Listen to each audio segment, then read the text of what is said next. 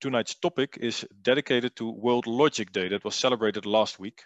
And tonight we'll discuss how can logic help treat psychological disorders. We have a wonderful range of speakers tonight. Uh, the keynote will be delivered by Professor Dr. Michiel van Lambalgen, and I will introduce him later on. Before him, uh, Professor Dr. Dmitry Kovpak, founder and president of the Association for Cognitive and Behavioral Psychotherapy in Russia, will present the logical roots in developing cognitive behavioral psychology. But we start with uh, Victoria Denisova, who studied at and is an alumna of the Research Institute for Logic, Language and computation at uh, the University of Amsterdam, where she obtained the Master of Science in Logic degree. She obtained her undergraduate degree in philosophy and logic at St. Petersburg State University. Now she will give us a short introduction into the notion of logic. Uh, Victoria has been so kind to help organize this lecture and suggest the topic, so thanks a lot for that. And looking at the interest of all of you tonight, it was a very good uh, decision. Now, please, uh, dear audience, if you have questions during the talks, you want to ask a question to Victoria, Professor Kovpak, uh, Professor Van Lambalgen, please write them in the chat. And after all the lectures, uh, we will moderate a short Q&A. Uh, the three lectures in total together will last a little bit over one hour. Um, and afterwards, there is time for a Q&A. And now I gladly pass the floor to Victoria Denisova. Victoria, the floor is yours, please. Okay, thank you very much, Jerke. Uh, good evening, everyone. Um, Oh, excuse me, I cannot share my screen. Uh, Yelena will give you the rights to share uh, your screen. Okay. Mm -hmm. Yeah. Perfect.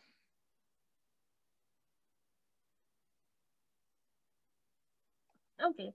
Uh, so uh, good evening, everyone. My name is Victoria Denisova uh, indeed I graduated from the University of Amsterdam.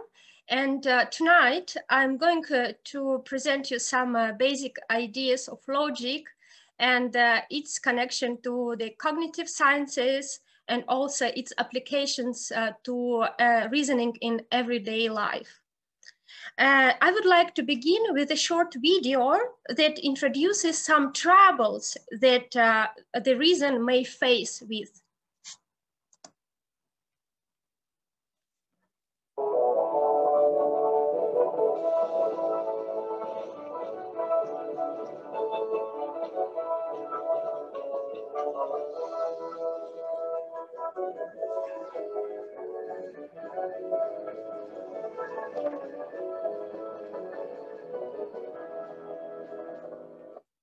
Oh, excuse me.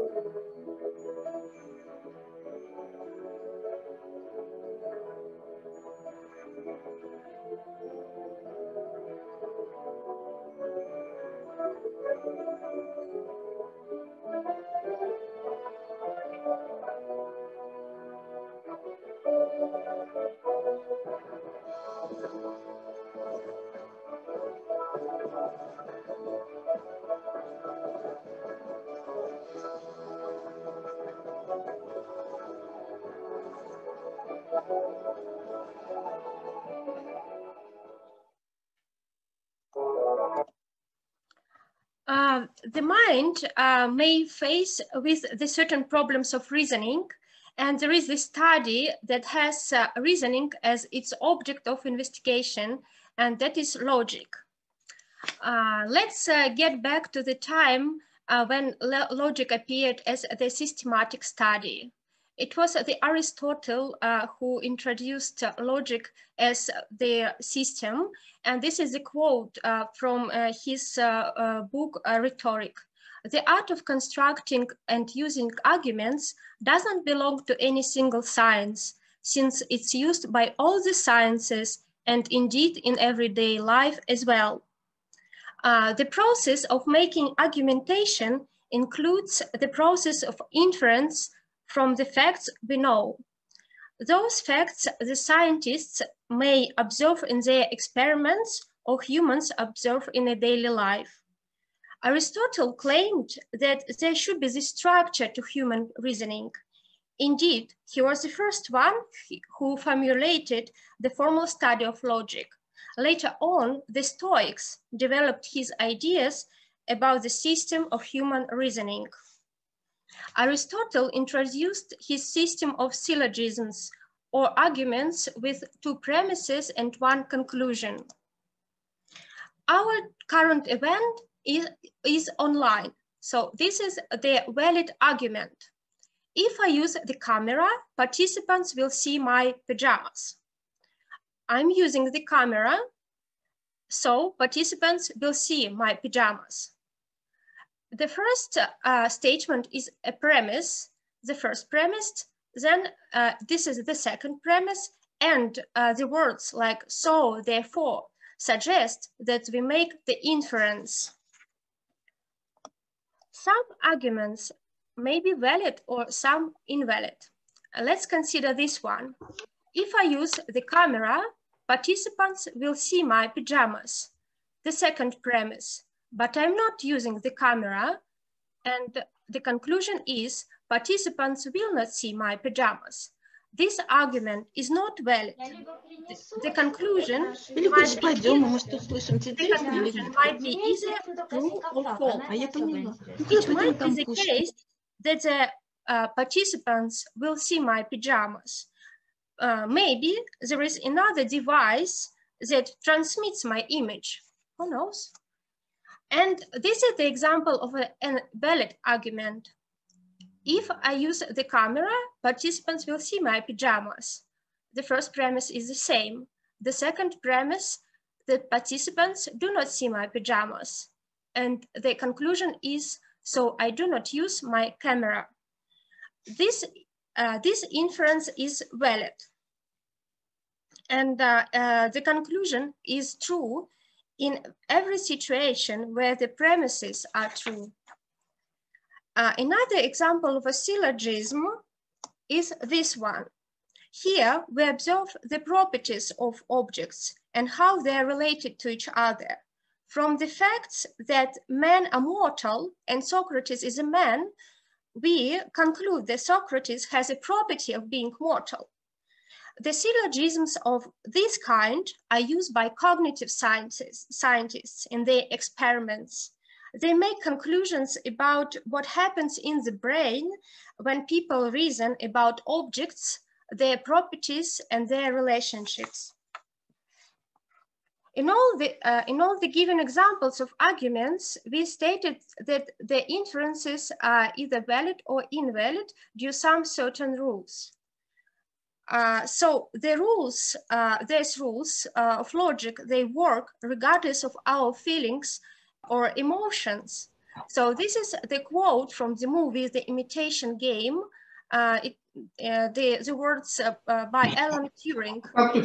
Sometimes we can't do what feels good. We have to do what is logical, regardless of our emotions. Let's consider uh, this scenario when uh, only uncertain information is available. I'm going to the theater and I must be in time by 6.45 p.m. And I've got two options to leave the office at 5 p.m. or to leave the office at 6 p.m. We do not know which argument is in fact holds and uh, uh, in the given context. Uh, for example, the first argument is valid. I leave office at 5 p.m. So in this case, I have some time to meet with my friends, to have drinks and uh, to take my time. But then I take metro and I still be in time in the theater. And uh, the second uh, argument is leave office at five. it's at 6 p.m. then I take a short route and I go on foot and at this in this case i'm uh, on time uh, in in the theater at 6:45 p.m. So uh, the same inference can be made even though we do not know in advance which argument holds. I would, I would like to show you a car. So this is uh, the model. Uh, it has uh, uh some windows and wheels, um, yes, uh, roof, And it's exactly like a real car. But we may use it to test, for example, car crashes in real life. And in logic, we use some artificial languages that, that um, model natural language. This way, we study some ambiguities uh, in natural language that is very complex. So for example, natural language, we have a negation not, and uh, we have a special symbol, logical symbol for, for this, and uh, also con connectives like and or if, if and only if. And they also have their own names in logic. Let's consider uh, the example. For example, uh, the situation where the lights turn down at home. The first statement, something is wrong with the electricity bills. We name it A. Or maybe something is wrong with the electricity. We name it B. In logic, we write it like this, A, then this, uh, the symbol of disjunction and B. Then we observe the fact, paid bills are on the table. Then uh, we, um, uh, we add negative symbol to A and uh, we in, um, conclude that B is the case. To, conclu uh, to conclude my brief observation, uh, let's sum up what logic is about. So uh, at first, it's not an abstract study. It finds its application in sciences and reasoning in daily life. Secondly, it takes uh, the reason as the object as, uh, uh of it, its investigation. Int uh, logic introduces some artificial formal languages and provides some rules to check the validity of reasoning. And finally, while adding new facts, we use logic as a tool uh, for jumping to correct and valuable conclusions. Thank you for your attention.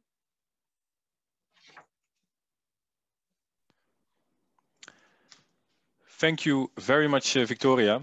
Uh, for your observation and to start off this uh, Dutch uh, science talk. Um, it was very useful for us to get us into the topic. Um, if you could now uh, turn off your screen, please. Um, and with that, I um, will uh, invite Professor Dr. Dmitry Kovpak is, and I mentioned it before, the founder and president of the Association for Cognitive and Behavioral Psychotherapy in Russia. Since 2016, he serves as a vice president of the Russian Psychotherapeutic Association, and he's also a board member of the International Association for Cognitive Psychotherapy and a member of the Beck Institute International Advisory Committee. Professor Kovpak will present the logical roots in developing cognitive behavioral psychology, and he will do so in Russian. Um, Dmitry, пожалуйста, uh, вам слово.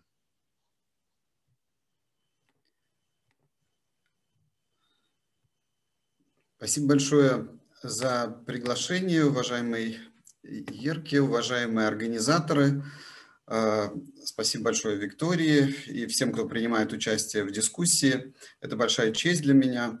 И а, действительно очень важная тема логики, которая пронизывает и всю психотерапию, но в первую очередь, конечно, когнитивно-поведенческий подход, который опирается на логичность, структурированность и реалистичность.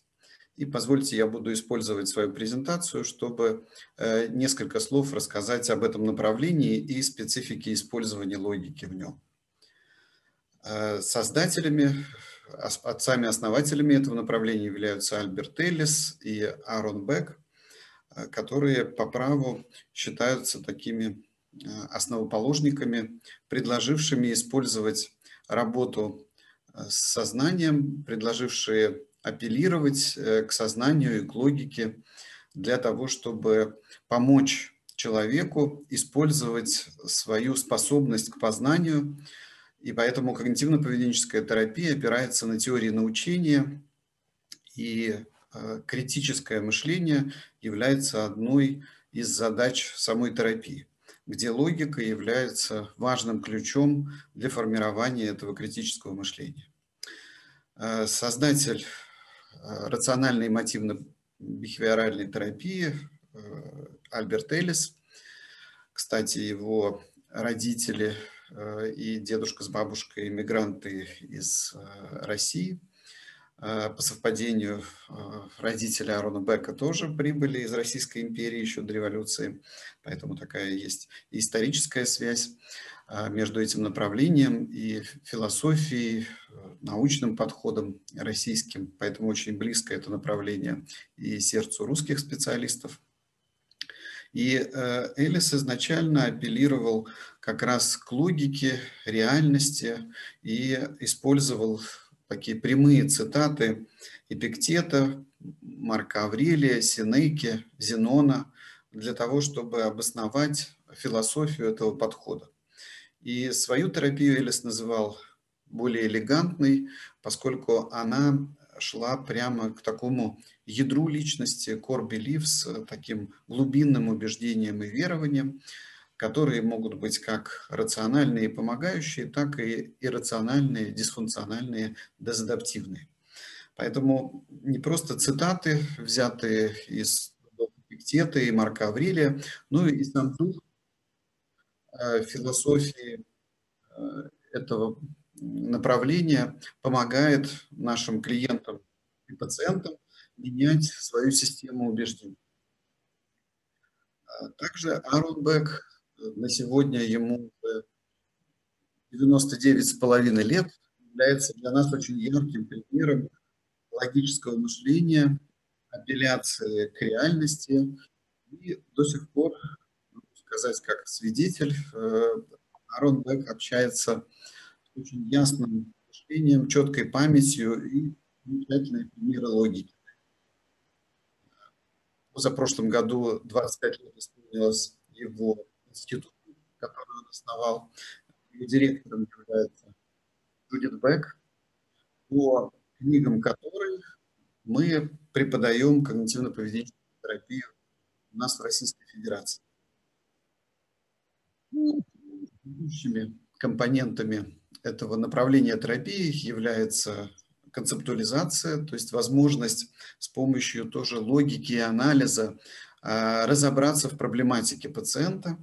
И одновременно с этим идет э, важный такой аспект, а, направленный на формирование терапевтического альянса и в последующем таких диадных отношений, терапевтических отношений, которые рассматриваются как один из краеугольных камней терапии. Способность человека к познанию, способность к критическому мышлению активно используется в этом структурированном и логичном подходе. Э, предлагается как раз использовать ресурсы наших клиентов и пациентов и возможность их переосмысления, изменения отношения является одним из базовых таких посылов всей когнитивно-поведенческой терапии. Поэтому совместно разрабатывается постановка целей, и она же отражается в повестке каждого сеанса, каждой последующей встречи на протяжении всего цикла встреч. И также предлагается клиенту занять активную позицию, где а, вместо названия обычного домашнее задание используется action plan, план действий, где также обучение, научение, тренировка, репетиция поведения используют и логику, и реальность, и диалектику. Ориентация на решение проблем как раз призывает клиента использовать логику, реальность и опору на свой опыт и формирование навыков. Э, оценка, э, такая возможность раскрытия мыслей, суждений, убеждений является спецификой когнитивно-поведенческой терапии, где э, такие практики памятования, как на Востоке, возможности осознания своих мыслей и их специфики в определенных проблемных ситуациях с нарушениями логики, так называемыми алогизмами, а, является одной из ведущих задач и мишеней терапии. Одновременно с этим, конечно, необходимы и тренировки, э, такие поведенческие эксперименты, и э, добиваясь поведенческих изменений, когнитивно-поведенческие терапевты формируют такой план закрепления в виде формирования новых буквально таких условных рефлексов по Павлову, ну, естественно, э, более сложных, чем у собак Павлова, в качестве таких комплексных рефлексов, в первую очередь, со стороны второй сигнальной системы. И когнитивная модель во главу угла ставит как раз промежуточную переменную, представление человека о том, а, чем для него является стимул, триггер, активирующая, провоцирующая подробно примеры, где так называемые автоматические мысли по бэку или автоматические образы а, провоцируют избыточную дисфункциональную дезадаптивную реакцию, как эмоциональную, так и физиологическую и поведенческую. На основе собранных данных, на основе анализа таких типичных ситуаций, где формируются проблемы, исследование совместное, как некое путешествие, с направляемым открытием с помощью таких активных диалогов э, в терапии позволяет специалисту помочь клиенту увидеть некий набор правил, которыми пользуется клиент, и алогизмов, погрешностей в логике, которые мы там можем наблюдать. Это большой список так называемых иррациональных или дисфункциональных мыслей и убеждений, а, которые есть в большинстве монографий и таких пособий для самих клиентов, где раскрывается специфика таких императивных требований долженствований, черно-белого мышления дихотомического, или, как приводила Виктория, нарушений логики буквально по Аристотелю. И Элис любил приводить такой пример, э, когда человеку кажется его мышление очень логичным, э, в некоторых случаях необходимо сделать шаг назад, отступить, чтобы увидеть картину шире и в полном объеме. И э, любил приводить такой пример, опять же, касающийся Аристотеля, о котором нам сегодня напомнила Виктория. Представьте, говорил Элис, что вы находитесь на лекции Аристотеля еще в той самой Древней Греции, и Аристотель предлагает вам а, простое упражнение по логике. Он говорит, трава зеленая, да, мы видим, она зеленая. Ну, давайте начнем рассуждать логически. Трава живая, живая, Аристотель живой, живой. Значит, Аристотель трава. И этим примером Элис подчеркивал, что иногда наше впечатление об обоснованности наших выводов э, обладает такими погрешностями, или, как Бек первоначально еще в 60-х годах говорил об операциях, э, как операции в оптике, так и операции в мышлении, некие дисфункциональные, некие такие ошибочные мысли могут приводить к привычкам, которые заставляют нас видеть вещи в искаженном свете, э, видеть ситуации э, в той трактовке, которая часто связана с предшествующим опытом и иногда э, спускается вплоть до такого травматичного или дефицитарного детского опыта, с которым также работают когнитивно-поведенческие терапевты, несмотря на то, что многие критики этого направления считают, что детство в этом подходе игнорируется. На самом деле с первых шагов, э, начиная с 60-х годов и в статьях, и потом в учебниках, э, в монографиях Бек подчеркивал важность анализа, в том числе и прошлого, и связи этих привычек, э, этих убеждений, которые были там сформированы с настоящим. И поэтому в целом сегодня концептуализация рассматривается как некое исследование опыта человека, как две стороны медали. И дисфункциональная, и наоборот функциональная, адаптивная, та, которая ему помогает в решении его проблем. И там, где как раз мы видим опору на логику, реальность и э, в некоторых случаях диалектику. А, в целом когнитивно-поведенческая терапия опирается на бихевиоризм, поведенческую психологию, когнитивную психологию, нейросайенс, науки о мозге и его функционировании как нейросети, психолингвистику, психосемантику и герменевтику, и философский базис, где как раз активно используются и античные философы, так как их цитировал и Элис и Бек, сегодня это уже десятки школ когнитивно-поведенческого направления, где используется в том числе и современная аналитическая философия, не только включая основателей работы Витгенштейна и Фрейги, но и работы Чалмерса, Деннета, Сёрля. Поэтому а, человек рассматривается комплексно, как холистический феномен, где чувства, поведение и мысли тесно взаимосвязаны и переплетены, но через а, такие ворота, через окно входа а, в сознание с опорой на логику реальности, диалектику, мы можем изменить э, все эти взаимосвязи с точки зрения теории научения и когнитивно-поведенческого подхода.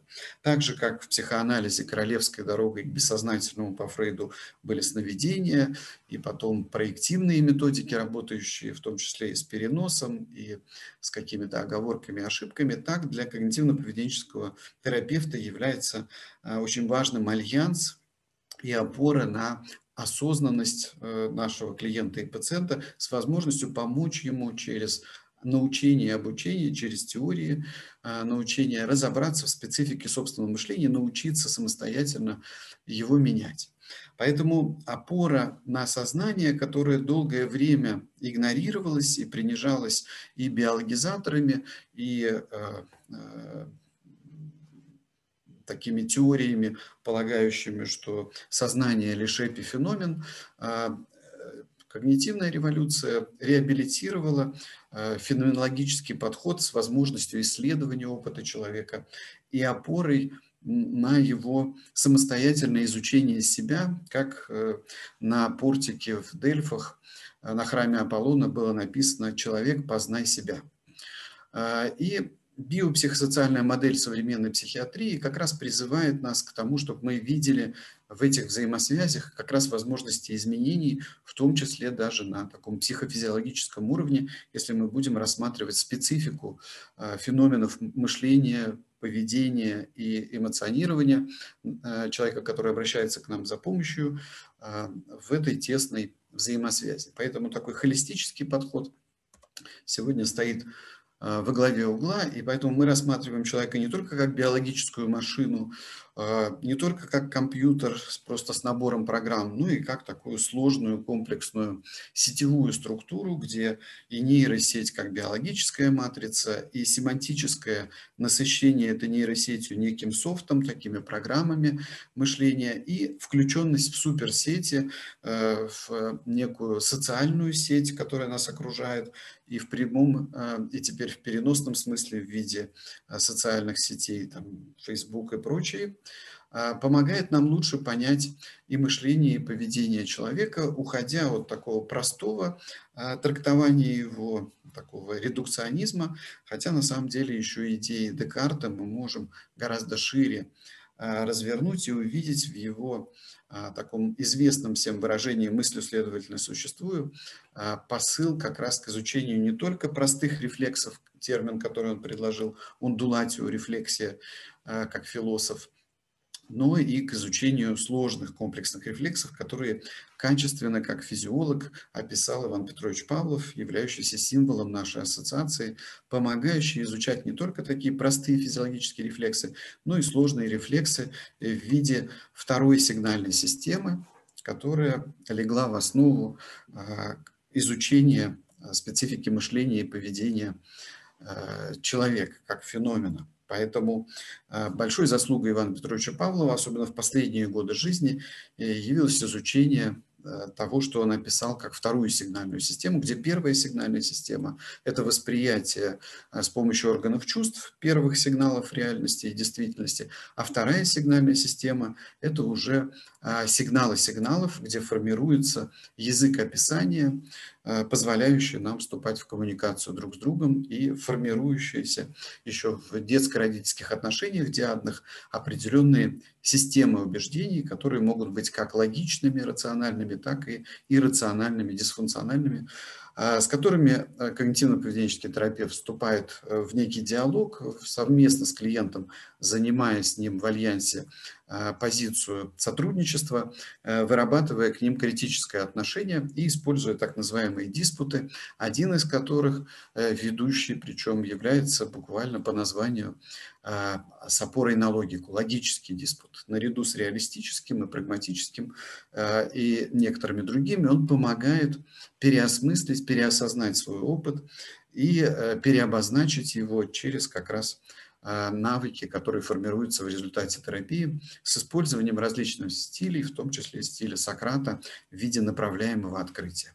Ну, чтобы не задерживать уважаемых ведущих и дать возможность слова нашему дорогому коллеге Михаилу, я остановлюсь на этом и постараюсь, может быть, потом через дискуссию и вопросы раскрыть какие-то детали, описав специфику работы когнитивно-поведенческого терапевта. Позвольте на этом пока сделать паузу и передать слово моему коллеге. Uh, thank you very much, uh, Dimitri. Uh, very interesting indeed. And uh, with you, we all dove deeper into the topic uh, of tonight. Um, and we see there's interest. People are asking questions already and they want to study more literature on the topic. so thank you very much for doing this. And um, audience, dear audience, please, if you have questions, you can answer, ask them in the chat. And after Professor Van Lambalgen, we will get back to you with a, with a Q&A. Um, thank you, Dimitri. And now uh, I'll invite Professor Dr. Michiel van Lambalgen, who is a professor of logic and cognitive science at the Institute for Logic, Language and Computation at the Department of Philosophy of the University of Amsterdam. He studied philosophy and mathematical logic and wrote his PhD thesis on randomness and Kolmogorov complexity. So he also is involved in some Soviet Russian scientific field, uh, at least not unknown to him. Now he will continue arguing how can logic help treat psychological disorders. Um, Michiel, the floor is yours.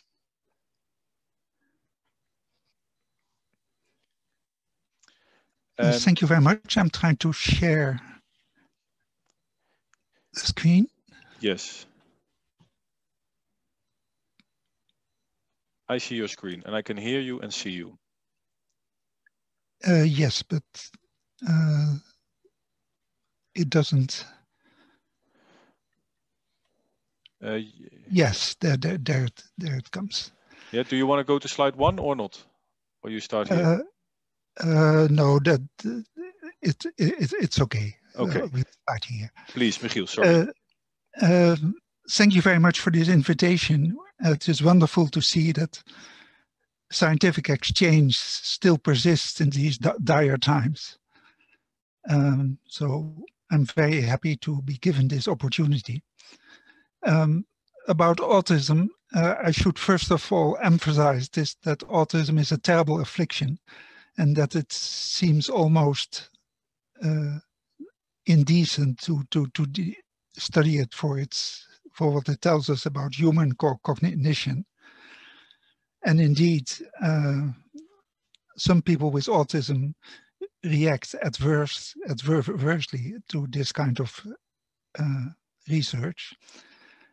Um, but I hope to make clear to you why it will ultimately benefit the people who are afflicted with, with this disorder. So it is a, a neurodevelopmental condition, which means that it develops, it becomes apparent in early child, childhood, uh, or rather infants, say two, around two years of age.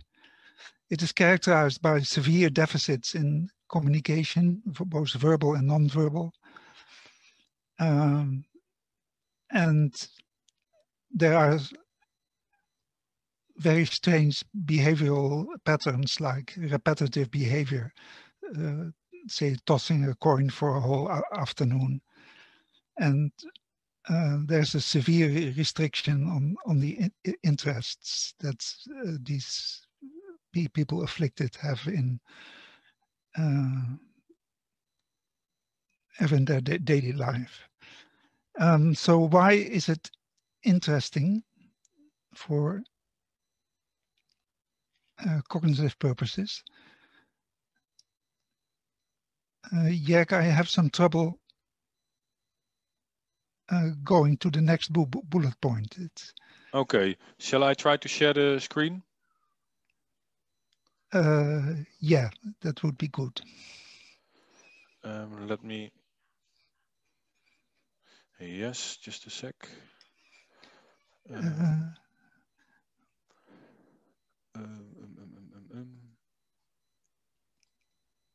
or maybe it's okay, okay. I, I think I can get it to work. Yes? Yeah. Because so I think I'm sharing now. Okay, but uh, then I cannot. Okay, can you try again then? I stopped sharing. Maybe you sh try again. Yeah, let me try again. Because for me, your presentation works. If I click on the next one, then it all comes.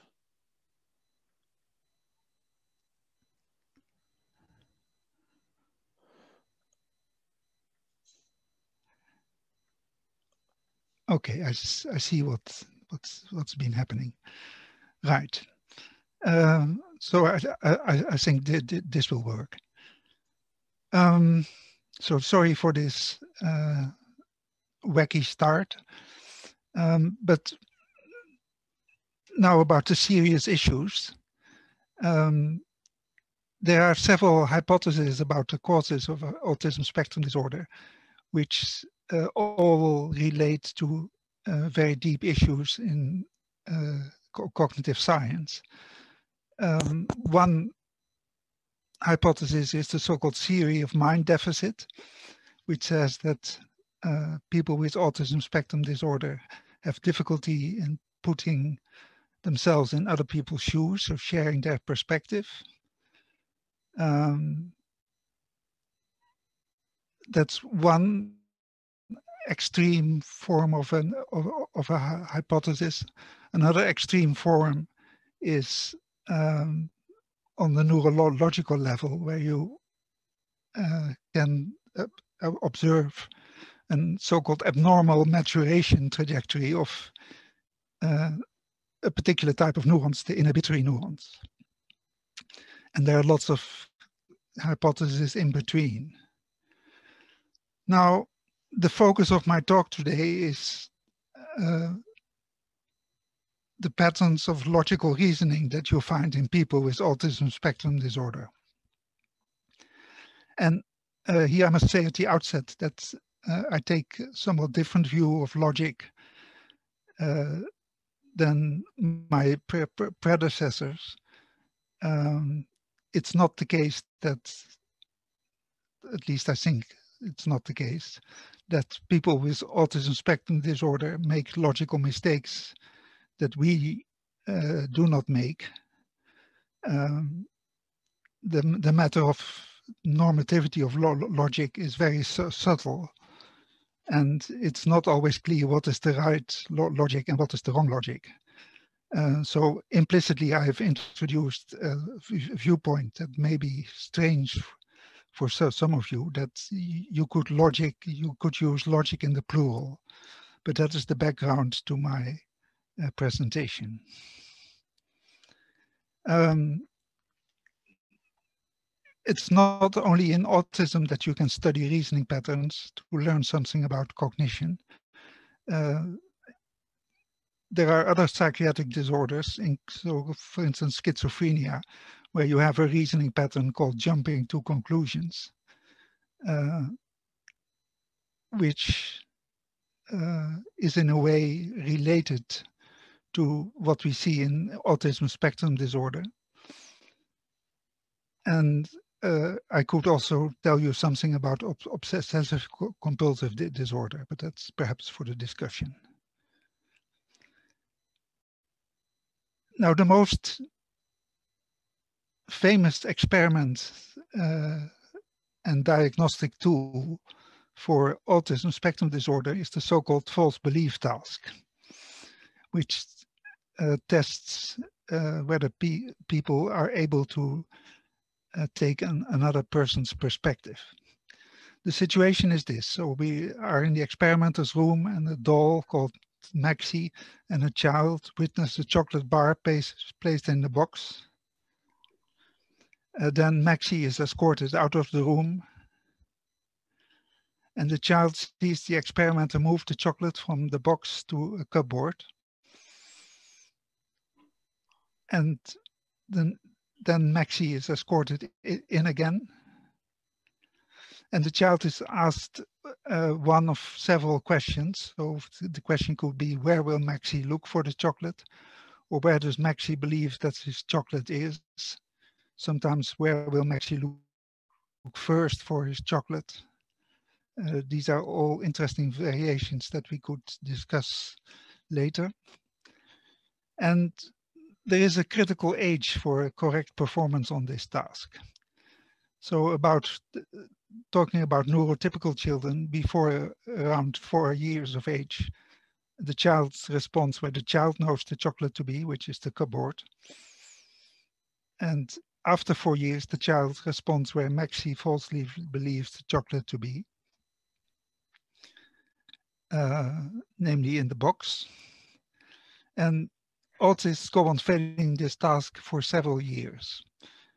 Uh, so it is a diagnostic instrument and uh, even when an, someone with autism doesn't fail this version of the task, there are more difficult versions that they uh, uh, tend to, to, to fail. Um, now, the interesting thing is that the responses in this task must be based on reasoning. Uh, there must be a logic uh, behind this. And the logic is involved in uh, computing what Maxi falsely believes. And that we can see from an experiment done by Casey Grant and colleagues in 2004, so-called the exp explicit false belief task. So if you now tell the child that Maxi believes that the chocolate is in the box and you ask the child, where will Maxi look for the chocolate? The child says, uh, in the box. So the connection between belief and action uh, is intact in people with in children with autism and the younger neurotypical children. Uh, but it is the the problem is how to compute what Maxi knows. And the reasoning that is going on can be uh, analyzed in, in two or three components. The first component is an awareness of the, the relation between perception and belief, which you could state as follows. So if, if a property phi is true in a scene S, and agent A sees the situation as the scene S, then A comes to believe phi.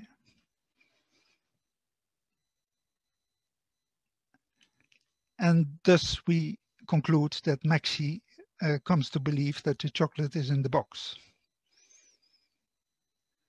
And now comes an important principle, uh, which is a logical principle, although you wouldn't find it in Aristotle.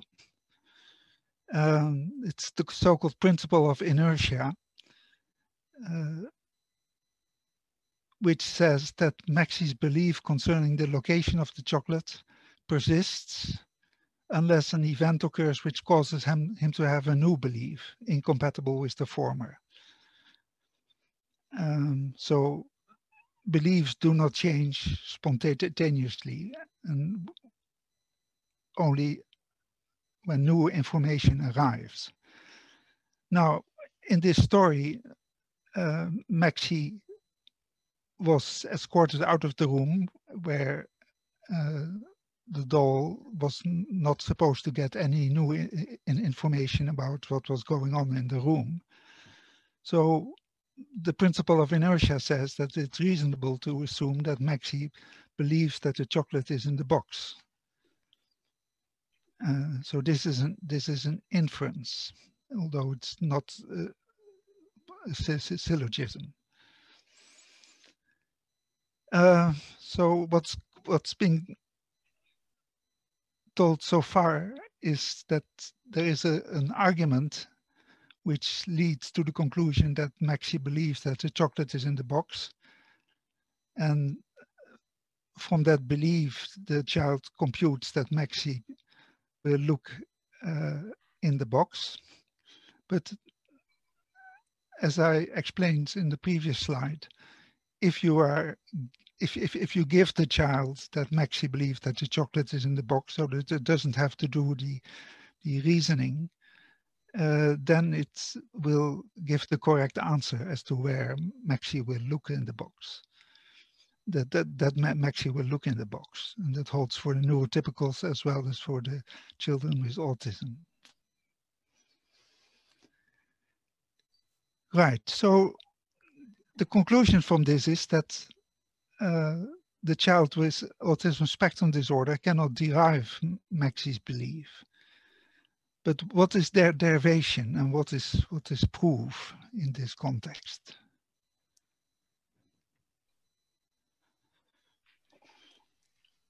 Right, that's uh, there are several ways to uh, approach this issue. Um,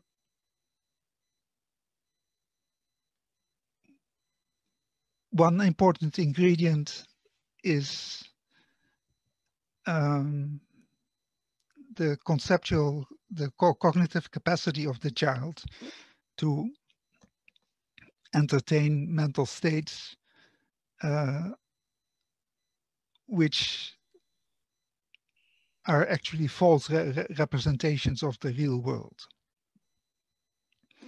So that's called a counterfactual representation.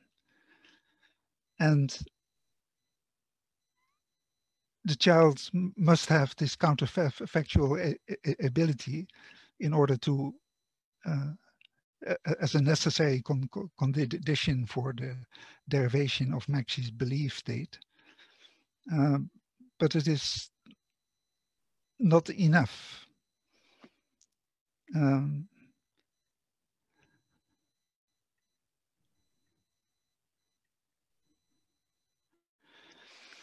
Right, so there's a there's a, a, variant of the false belief task, uh, which goes as follows. It's the so-called counterfactual uh, version. There's a, a child, the su subject, and, and the mother doll who's man manipulated by the experimenter, and they both see the chocolate in the fridge. Then the mother doll bakes a cake, and uh, after the, the mother doll is done with the baking, the chocolate moves from the fridge to the cupboard. And the experimenter asked the child, where would the chocolate be if mother hadn't baked the cake? That's the counterfactual question. And the kind of pattern that you that, that, that you see is uh, very reminiscent of performance in the false belief tasks, both in neurotypical and the people with autism.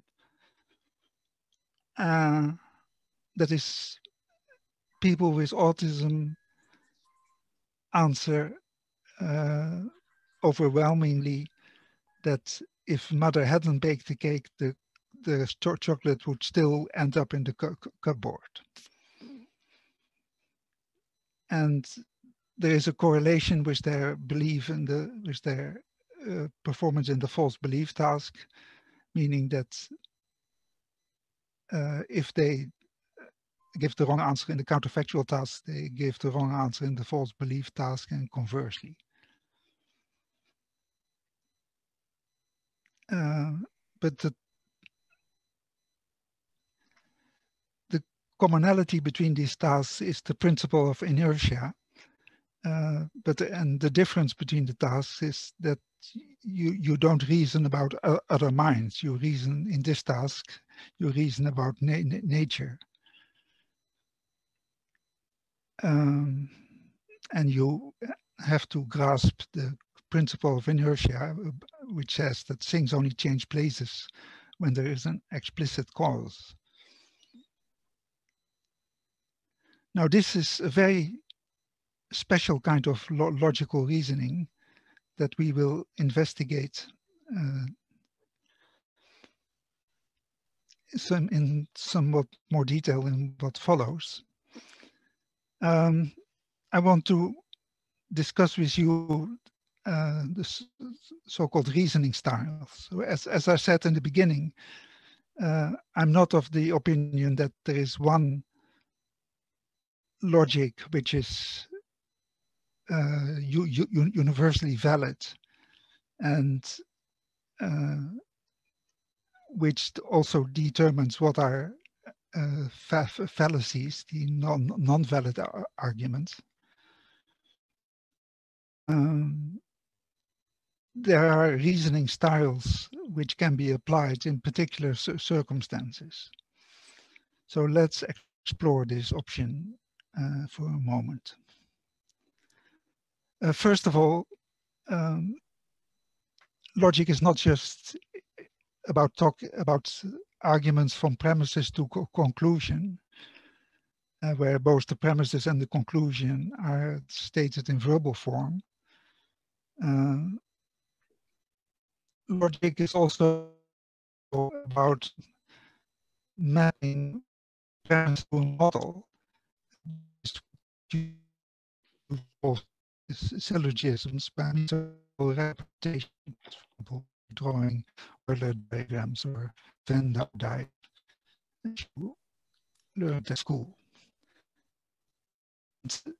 Uh, understanding what some you is also of this, this kind.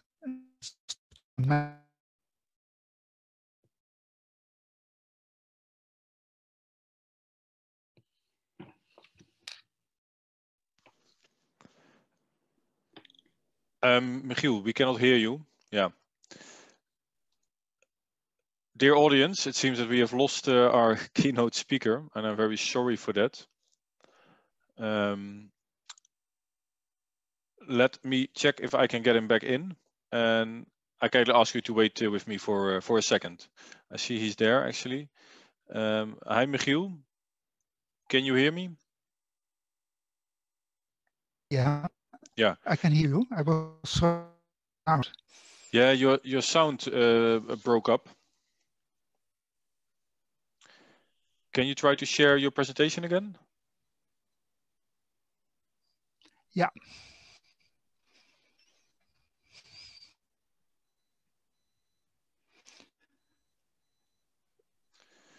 Right, so it should work now. Yes, yes. Can, can, can you hear me? Yes, I can hear you, yes.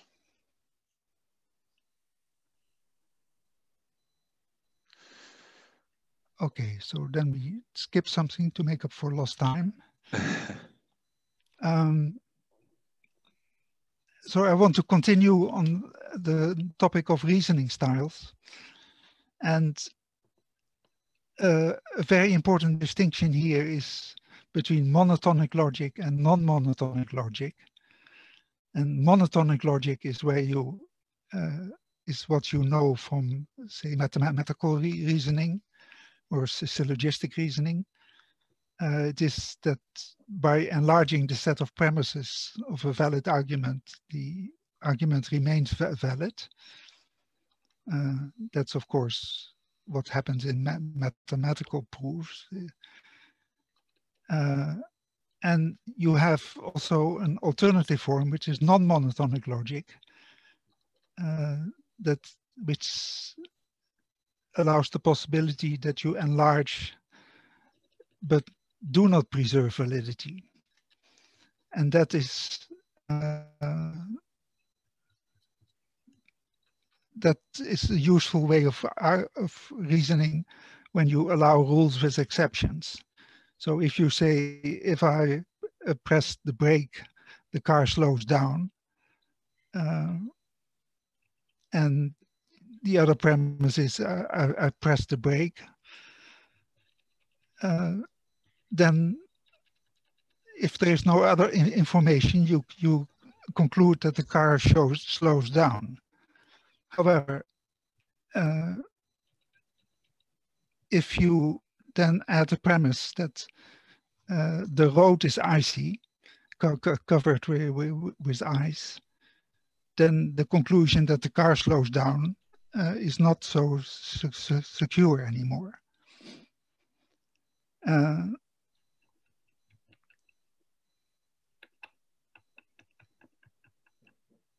and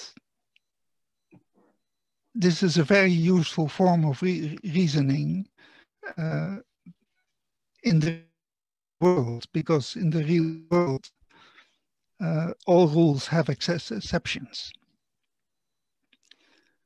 Right, so now let's go back to autism. Um,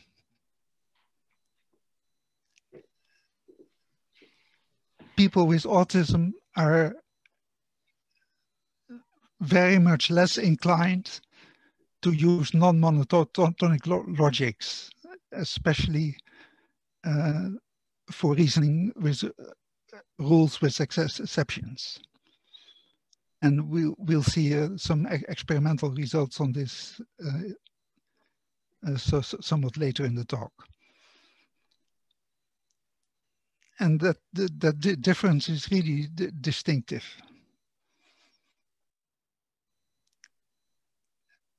But as I said in the beginning, uh, you should not think of this as uh, pe people with autism uh, reason worse than neurotypical pe people, or conversely, that people with autism reason better than neurotypical people. It is a case of adapting reasoning to the situation in which you find yourself.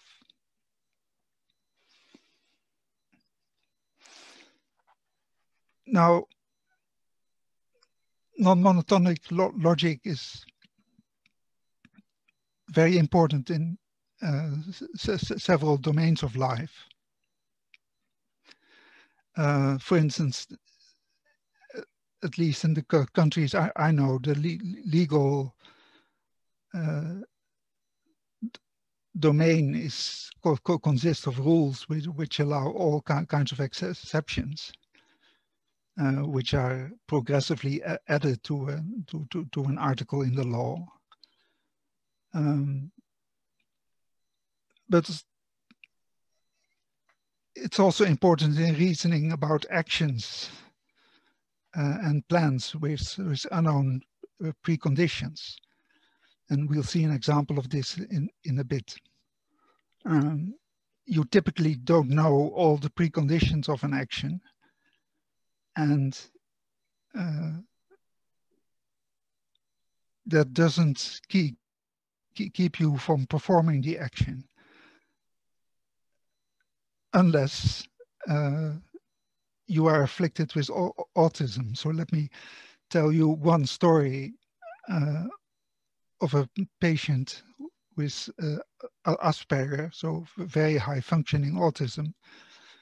Uh, she worked at the bank and cycled to her work uh, via the same route every day.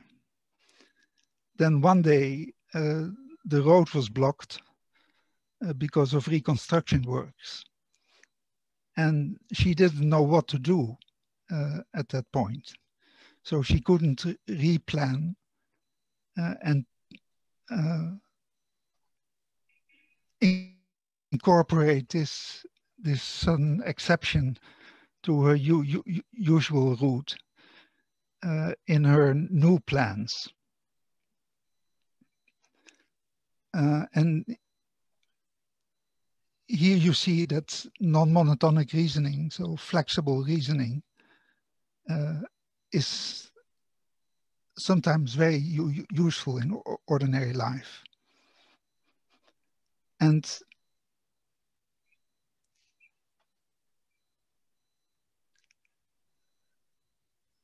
in a nutshell, the main reason why non-monotonicity is important in, in, our life is that we are uh, bound to, to, to time.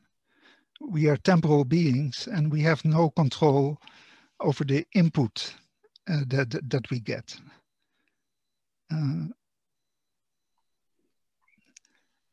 just to give you an illustration where we uh, actually did an, a brain imaging experiment. So when you give subjects uh, a sentence, the girl was writing an email when her friend spilled coffee over the keyboard. Then after the main clause, the girl was writing a letter. Uh, subjects expect that then the email was would be sent. But after processing the second, the subordinate clause, uh, this expectation is cancelled. And when you take electroencephalograms, uh, you see that the, the brain uh, gets to a state of considerable turmoil uh, for having to recompute this expectation. And by now you will not be surprised that uh, in people with autism that looks very di different.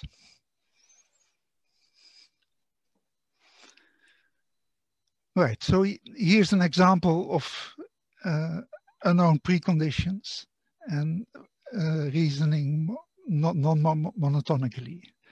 This is the so-called Russell's box task, named after James Russell, a Cambridge developmental psychologist. Um, so you see a box which is about one one meter by one meter. Uh, there's a platform where there's a, a, a golf ball here, uh, or a, mar a big mar marble, and the child is told that it has to get the marble from inside the box. Um, when the child reaches through the, the this opening, uh, suddenly the marble drops out of sight. Uh, this, so this is a cruel device uh, which has a, an infrared beam built in uh, such that if the child reaches through the opening, the infrared beam is interrupted, which activates a trapdoor mechanism and the uh, marble drops out of uh, out of reach. Um, then the experimenter demonstrates that if you flip the switch, uh, it is it suddenly becomes possible to retrieve the mar marble. So you have to update your plan. It's not just reaching through the opening, but you have to first check the position of the switch uh, and then it works all right. Now, it's the same critical age. Neurotypical children master this task after age four, four and a half, five. And uh, children with autism go on failing this task for a long time. That, that is, they uh, do not incorporate this switch into their uh, into their plan, into the you you you you could say that they change they cannot change their their rule the rule governing their behavior uh, with with the new information about the switch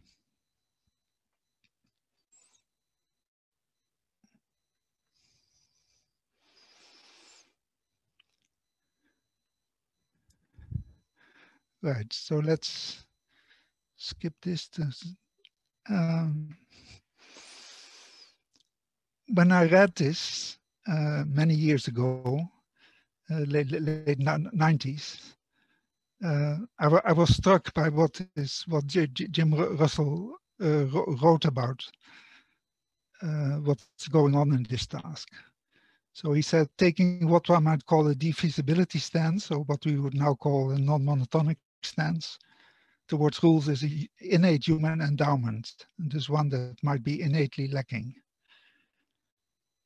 Um, humans appear to have capacity for abandoning one relatively entrenched rule for some novel procedure. Uh, so that is updating your rule with a new precondition.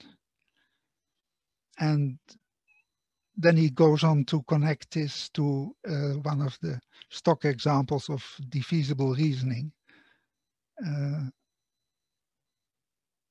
uh, like birds, birds fly, uh, which is defeasible because penguins don't fly.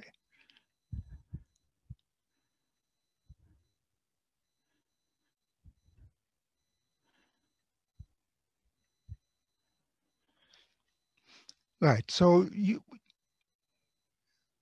the the logical rule is like an an, an if-then rule, as we saw in uh, Viktoria's presentation, but there's uh, a subtle change uh, in the for formulation of the rule.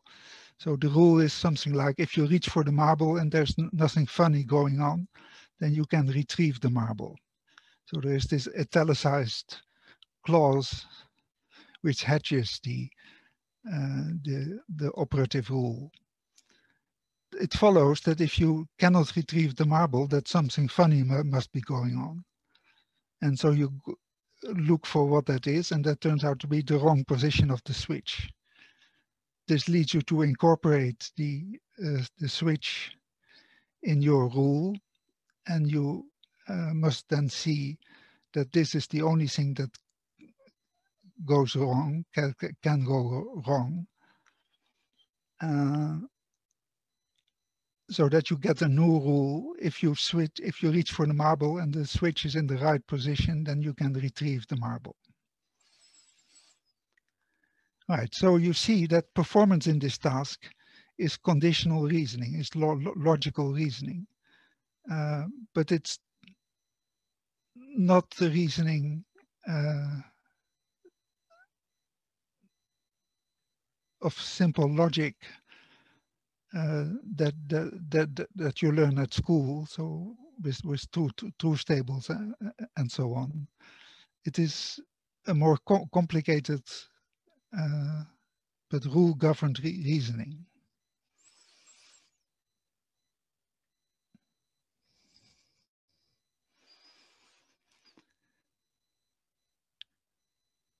Right, and these rules the can can be seen to form the heart of one of our uh, most important cognitive functions, what is known as executive function. Um, executive function is a postulated capacity for all the processes that are involved in adapting to, to, to time. So high level action control, like maintaining a goal in working memory, a goal which you want to achieve, computation of a plan to, uh, to achieve that goal. Uh, so a, a, plan is a sequence of actions, uh, initiating the actions and so on and so on. And logically, uh, executive function operates with rules of the form if condition and nothing abnormal is the case, then action. Yeah, um, using the notation that Viktoria already in, in, introduced, we denote it uh, as, as follows, just for easy reference.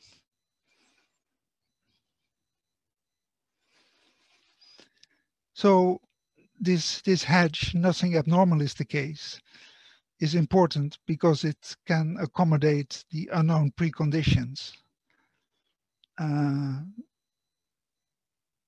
that most actions have and uh, that derails a plan if the unknown pre precondition is not satisfied. Right, and the unknown preconditions uh, are problematic for pe people with autism spectrum disorder. And you, you can see this across various domains. Um, I think I'll skip this. We may go back to this in the discussion. Um, you can actually test this um, in a pure reasoning experiment. So that's what we did in around uh, 2005. Um, we noticed that both the false belief task and the and the box task involved those uh, principles like the principle of inertia and representations of uh, rules as allowing exceptions. And that looked very much like uh, a reasoning task. Um, the so-called suppression task. And in the suppression task, uh, you will see reasoning behavior that verges on the uh, fallacious, but it is actually a, very se sensible way, way of reasoning. Okay, so what is the what what is suppression? Right, we've seen a modus ponens ar argument in Viktoria's presentation. Uh, let's take this example. If she has an essay to write, she will study late in the library. She, the second premise is she has an essay to write. And then you ask the subjects whether she will study late in the library uh, is a valid conclusion, uh, yes, no, or uh, the answer or, or and, and the third possibility is may, maybe uh, may, maybe means in this case that there is a, there can be a situation where the premise is true and the conclusion is not true. Um, so 96 of neurotypical subjects answer yes with the data from our own experiment. And let's skip this one.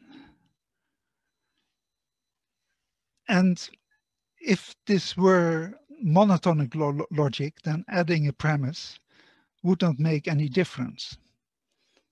Right? That's how, how we defined mon monotonic logic and so-called Aristotelian classical logic is mon monotone. You can add anything and the conclusion doesn't change.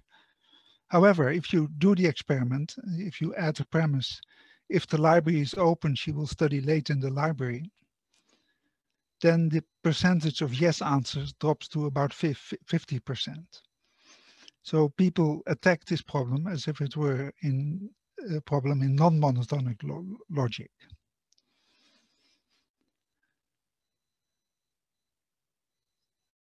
Well, um,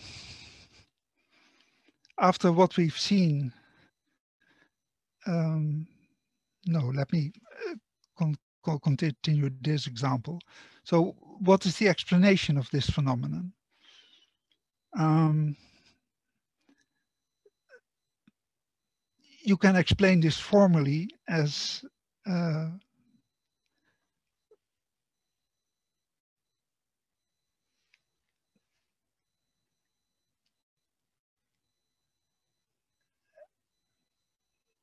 as we did for the uh, box task, namely, uh, we assume that that rules are always hedged, so that the real structure of this premise is if she has an essay to write and uh, there's no abnormality or no, there's no, nothing funny going on, then she will study late in the library.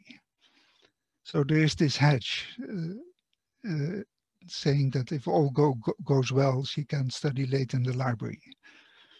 Now, if you add this extra premise, if the library is open, she will study late in the library, then the hedge, the abnormality, uh, suddenly becomes salient because this sentence raises the, the possibility that uh, the library is closed. Um, so that the new uh, conditional, the new rule becomes as in the box task. If the if she has an essay to write and the library is open, she will study late in the library. But the information is only that she has an essay to write and we haven't given no information that uh, the library is open. So, so the conclusion doesn't follow anymore. Right, so this is a very non-classical, non-Aristotelian way of reasoning, uh, but it seems to me to make a lot of sense.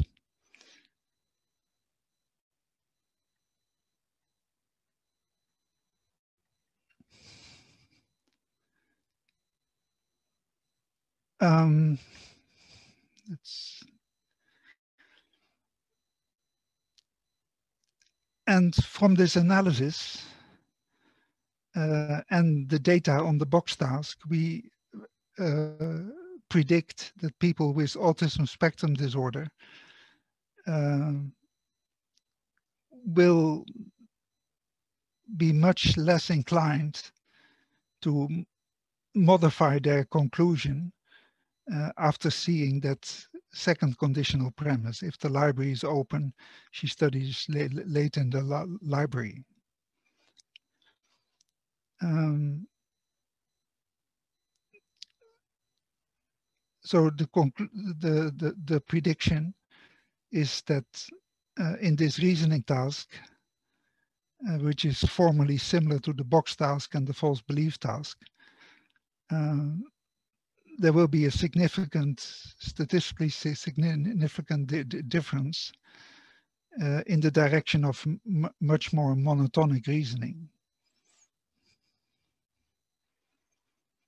Uh, this is for, for, for the discussion. This uh, shows you an example where this suppression occurs in real life.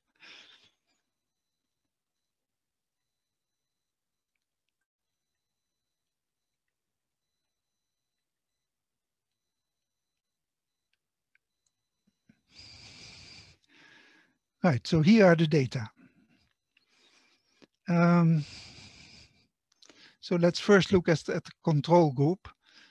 Um, modus ponens with just two premises, one conditional and one categorical, is endorsed in 96% of the of the cases, and that percentage drops to uh, 51 uh, when uh, the premise, if the library is open, she studies late in the library is, is added. Now look at the case for autism spectrum disorder.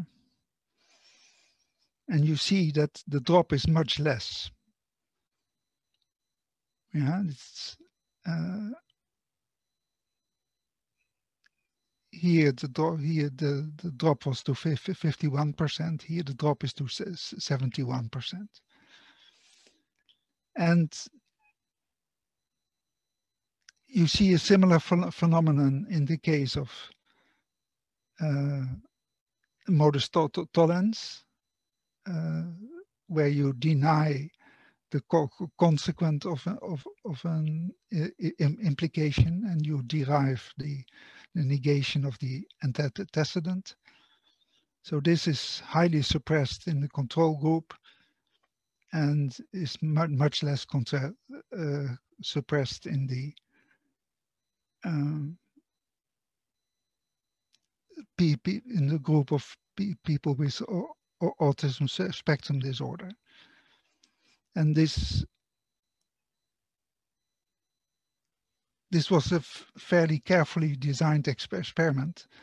Uh, so the, the control group consisted of uh, su subjects who who matched the su subjects in the in the uh, autism spe spectrum group. So if you had someone in the autism group with, uh, say, IQ of 100, left-handed, uh, and female, then in, in, the control, control group, there was uh, a person satisfying the same the, the description. So the, the, the result is, is fairly significant.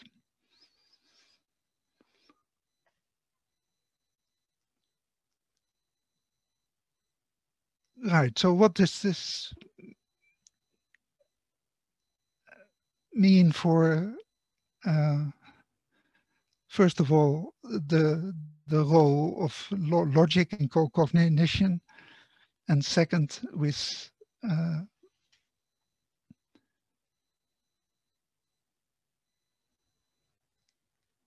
the wider co cognitive uh, uh, environment, uh, by which I mean uh, the, the processes of re reasoning that people uh, engage in, in in ordinary life, and I will particularly focus on moral reasoning in the in the next slide.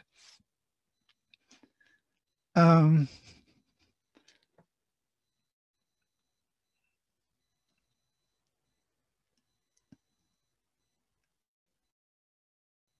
so let's first tackle the issue of the normative status of logic. Let's look, look in the control group. So in the control group, the su subjects overwhelmingly endorse modus ponens.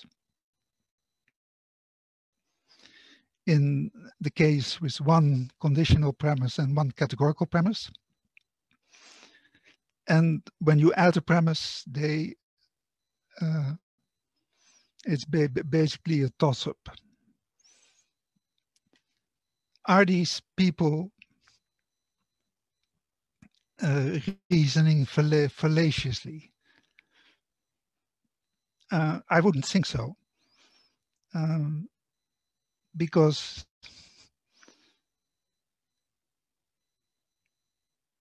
when you reason lo logically in, in, in ordinary life, you reason with uh, conditional premises which are uh, always prone to having exceptions. And you must uh, de deal with these exceptions.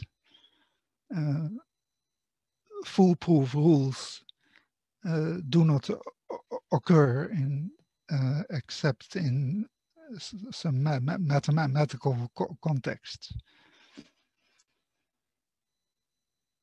Um, so from that perspective, uh, pe people with autism spectrum disorder uh, reason in ways which are uh, less ad ad adaptive to nor normal to, to ordinary life.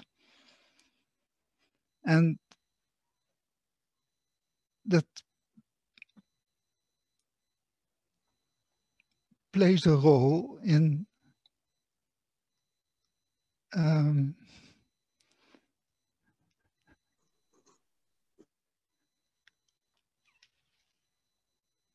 in, in, in, important re reasoning, uh, important so, so, social re reasoning, uh, namely moral reasoning uh, and the assignment of, uh, say, moral re responsibility.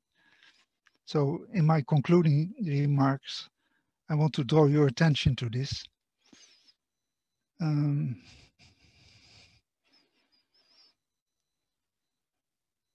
so in false belief reasoning, we meet a situation uh, where a character, Maxi, uh, is computed to have a belief which is uh,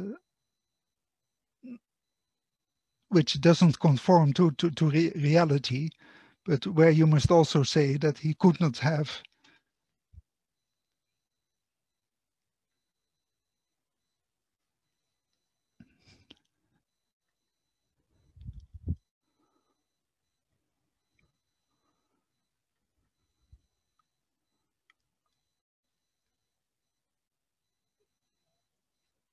I don't have a screen anymore. Uh, we, we, can still see it, uh, Michiel.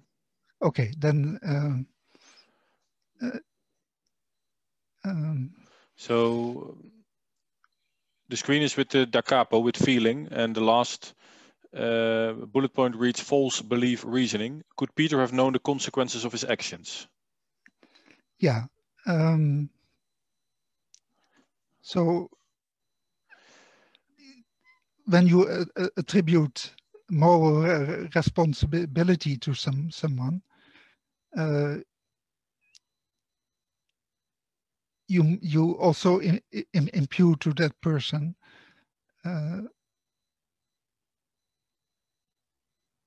the knowledge that his actions uh, would lead to certain co co consequences, to the co consequences uh, for which you want to blame him. Um, if if you compute his belief state uh, and you come to the conclusion that he could not have known the consequences of, of his actions, then you will not be inclined to blame him. But this computation is typically very difficult uh, for pe people with autism. And the, the, there have been se several important uh, investigations into the, the moral reasoning of pe people with autism. And the results of this is that uh, they tend to be very rule governed in the sense of uh, applying rules which uh, hold no matter what and do not allow for uh, the, the kind, kind, kind of exceptions such as uh, insufficient no knowledge. Uh,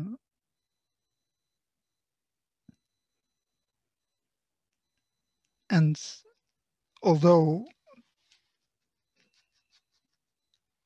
autism cannot be treated like say de depression can can be treated. Uh, what you can do is um, give people logical training and then uh, train them in uh, this fle flexible lo logic, this non-monotonic non logic, uh, which allows them to uh, introduce or and entertain rules which have a much more fle flexible application. so that would be the contribution that logic uh, could could make to uh, for therapeutic pur purposes. Um, but first, some new experiments have to be done. Uh, so you you would like to have an experiment where which shows that su uh, autistic subjects moral reasoning correlates uh, with the reasoning on, say, the box task and the false belief task uh, to make this connection uh,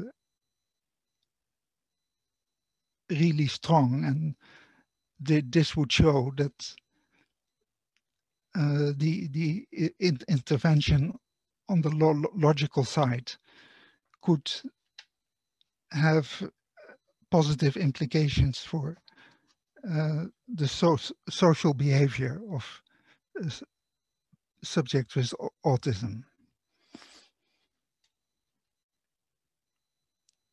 Um, unfortunately, I cannot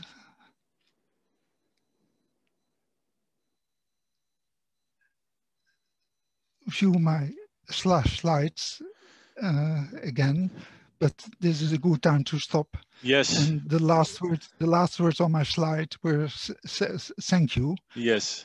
This I can remember. Yes. No, and your your your maybe I can read it actually. Your last uh, written remark was experimental results indicate a heteronomous morality in individuals with um, uh, ASD based on the respect of learned moral rules and outcomes rather than others' subjective states, uh, which was uh, written up by Fada and his colleagues. Um, and I think this is also what you just actually um, uh, finished off your talk with, uh, and, and thank you very much uh, for it. Uh, um, um, and we went a little bit over time, so I apologize to that, but I didn't want to interrupt you, Michiel, uh, because we have quite a lot of people who really yeah, kept uh, kept listening into it. And I yeah, would like to, can you maybe close your, your, your screen sharing? Yeah. Um, because my, my, my very, and, and people, please, if you have questions, uh, write them in the chat, but I have a first question. You, um, and we started with the, with with the, with uh, with with the idea that uh, how can logic help treat psychological disorders? And you mentioned that uh, um, uh, by logical training, you might be able to help people with autism spectrum disorder. Is this actually then happening in the Netherlands? Is this, I mean, already? Not in the ne ne Netherlands. I, I know uh, someone uh, who used to work in Lo Lo London, Boris Galitsky, uh, who actually designed uh, computer pro programs. Uh, but you would you would you would favor this um, um, treatment or not treatment it sounds uh, but you would favor this approach training possible training yeah, yeah, yes yeah, yeah. Um, Dmitrii Kovpak i don't know if you're with us um, i'm just curious how you would uh, look uh, upon this if you have any experience from uh, from russia on this topic.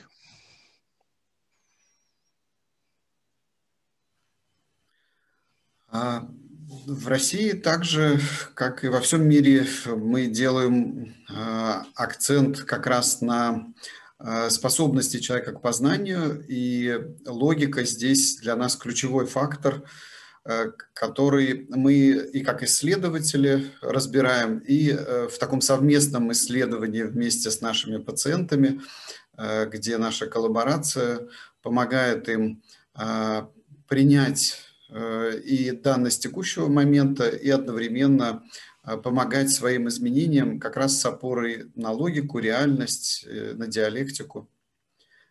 Если говорить о практической сфере, в исследованиях мы, конечно, тоже находимся в тесной коллаборации с университетскими исследователями, например, Санкт-Петербургским, Московским государственным университетами и другими вузами.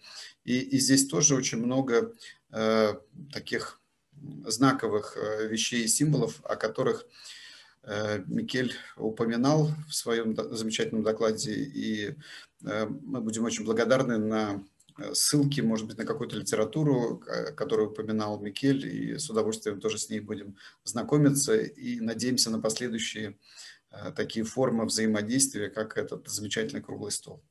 Mm -hmm. uh, thank you very much, uh, Dimitri. And for sure, we will ask you, uh, Viktoria and Michiel, indeed, for uh, some some more reading, uh, some more literature, and we will share that with the audience because we really understand that yeah, people are really interested in in in in getting to know more about this. And um, I'm sure Michiel would not mind us connecting you to him, of course, because it's it's all for the better if you are able to connect yourself. There was actually one question very specifically aimed at you, Dimitri. I don't know if you saw that question. The question was posed by Anastasia Sinapienava. Um, you saw it? Uh, she wrote, Dla моего мышления есть много причин, объективных, субъективных, что может влиять на изменения в мире ситуации. И это сильно связано на своих мыслях, чувствах, те нелогических. Верно ли я понимаю, что мне нужно будет ориентироваться на законы логики? А, а, когнитивно-поведенческий подход а, рассматривает такую систему репрезентации, что в нашей внутренней субъективной реальности мы имеем дело со знаково-символической системой, и наше отношение к этой реальности может быть изменено. И логика здесь э, как возможность, как инструмент формирования так называемой метапозиции возможности условно, если говорить простым языком, сделать шаг назад и посмотреть на себя со стороны. И логика позволяет э, уйти от так называемого наивного реализма, когда нам кажется, что есть именно вот так. Именно логика подсказывает нам, как с оптической иллюзией, когда мы видим, что ложка в стакане э, на разнице двух сред разламывается, но логика помогает нам понять, что она все-таки целая.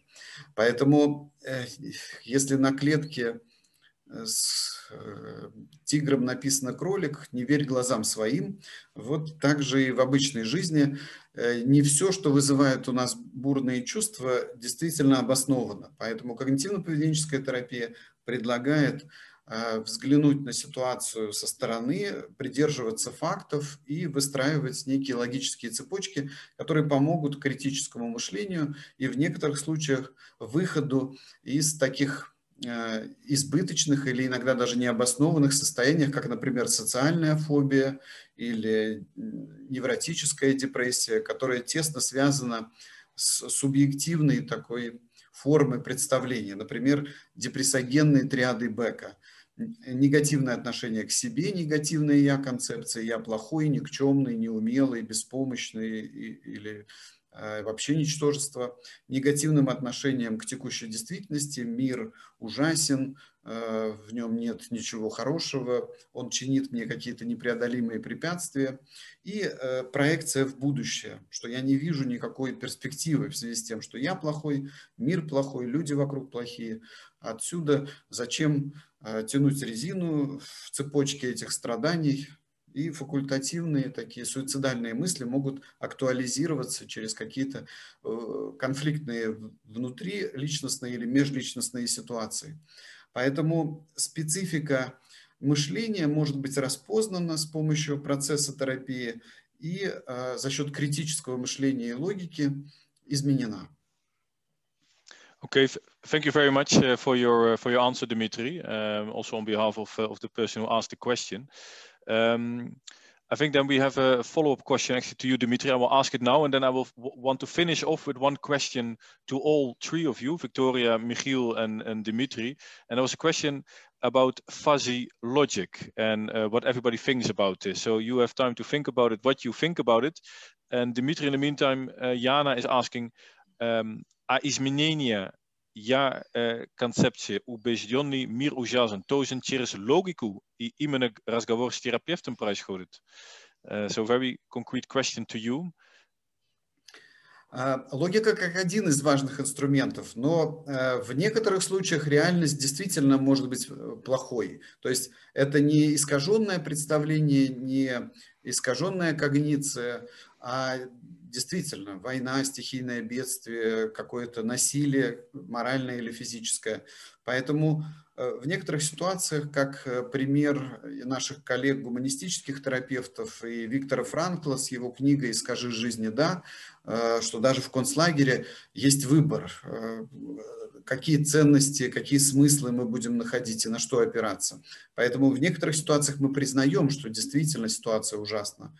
Э, смерть близкого человека, насилие, но мы ищем возможности. То есть, несмотря на то, что объективная ситуация может быть драматической, э, на что мы будем опираться, на какие смыслы и ценности, мы помогаем совместным обсуждением с клиентом все-таки найти какие-то возможности. Thank you very much, Dimitri. And then to yeah, a, a, last question to you all, um, and and and um, I think we should try to answer it shortly. And I'm, I'm sorry for this that we have a shorter Q and A, but I think it's also nice that we try to finish a little bit on time. Uh, maybe Viktoria, I will start with you. Uh, fuzzy logic. Uh. What is your uh, fuzzy logic is uh, not uh, a kind of classical logic that I was talking about. Uh, it uh, was de developed uh, later than than traditional Aristotelian logic, and uh, and uh, so it used uh, some modern definition of uh, inferences. Uh, so I think that I will give um, a word to Michael, and uh, Michael might continue description of of fuzzy logic. okay, Michiel, please, the floor is yours. fuzzy logic operates not with just two, two truth values, true and false, uh, but with a continuum of truth values in between uh, true and false. Um, but it is in essence still a monotonic lo logic. So it is not a lo logic that allows you to retract the conclusion when new information comes in. Uh, and so I think it is mostly uh, not very useful in mo modeling co cognitive phenomena. Okay, thank you, Michiel. Dimitri, do you have something to add or your take on fuzzy logic?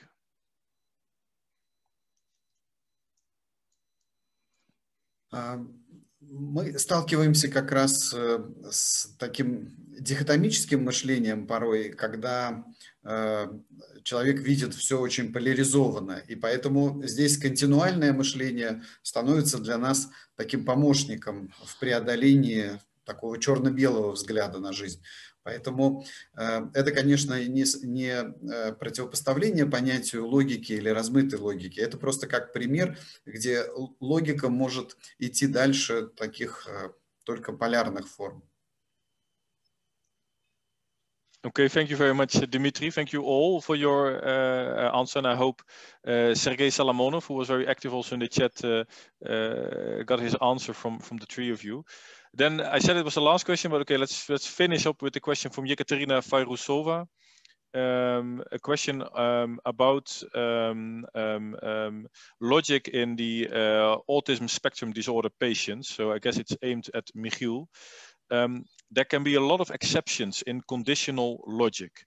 And if so, can it be the case that ASD patients try to compute all possible variants, but they cannot choose the most appropriate one?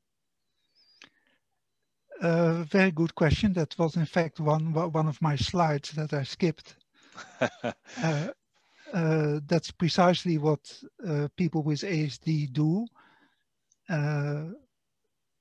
They don't differ in the in ge ge generating the po po possible exceptions to conditionals as compared to neurotypical persons, but they cannot compute the effect of the exceptions on the conditional as, as a whole. So, so thank you for this question. Thank you, Michiel, for the answer also. And it's uh, it's uh, so you, it's it's it's not a pity that you skipped it because we came back to it uh, nonetheless. Um, and yeah, I think we have to we have to uh, round it up uh, here. Um, uh, because we went a little bit over time, but I don't think it was too bad because we have a lot of people uh, uh, stay with us uh, for the whole lecture. Um, what we will do from our side, from the Netherlands uh, Education Support Office, um, we will send out the recording of the lecture to you. Um, we will also ask our three lecturers to come up with a small list of some further reading, and I'm sure they will share that with us and then we will share it with the audience. Um, and since we see this interest, uh, why wouldn't we organize another lecture on the topic? Um, uh, I would definitely not mind. Uh, it's very interesting, uh, I think, uh, when we have this, uh, this discussion with people from different backgrounds. Um, but with this, I would like to yeah, finish tonight's lecture. Thanking uh, Viktoria Denisova uh, for helping us organize it, thanking Dmitrii Kovpak for being with us as a distinguished Russian expert, and of course thanking Professor Michiel van Lambalgen as the Dutch part in our Dutch science talks. And of course, thank you audience for being with us tonight. please stay in touch with us. Um, um, we have more lectures to come on all different kinds of topics. Um, and of course, let's say after this summer, we hope to return to you maybe also once in a physical form again. Um, but for now, we'll stay with you online, uh, which is also very nice. So I wish you all a very nice evening. Спасибо вам всем and have a very good evening. Thank you, Michiel. Спасибо, Dimitri. Yes. Viktoria, thank you. Thank you very much. Thank you. Uh, we'll be in touch. Uh, Dimitri will write you an email. Same to you, Michiel. Ik kom nog uh, bij je terug. Uh, Victoria, to you as well. Uh, moet ik meteen files opsturen? Is dat handig? Nee, ik, ik stuur nog een mailtje, uh, Michiel.